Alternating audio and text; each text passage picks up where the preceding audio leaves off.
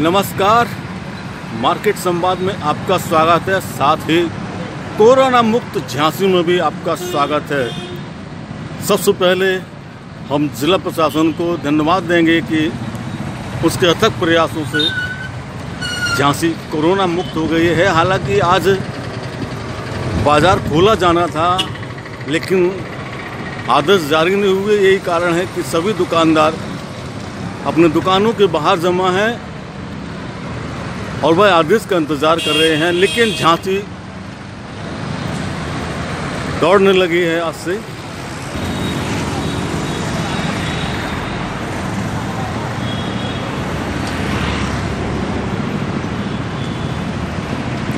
ये देखिए, सवारी वाहन दौड़ रहे हैं।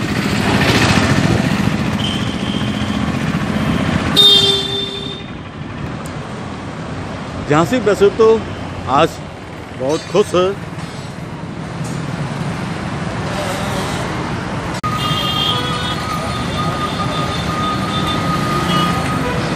वैसे तो झांसी, जैसा मैंने बताया, बहुत खुश है आज।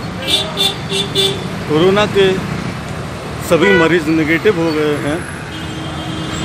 बस दुकानदारों को दुकानें खोलने का इंतज़ार है। इसके साथ बाकी चीज़ें सामान्य रूप से पटरी पर दौड़ रही हैं। आप देख सकते हैं कि यातायात भी सुचारू है। ये झांसी का एलाइट हो रहा है।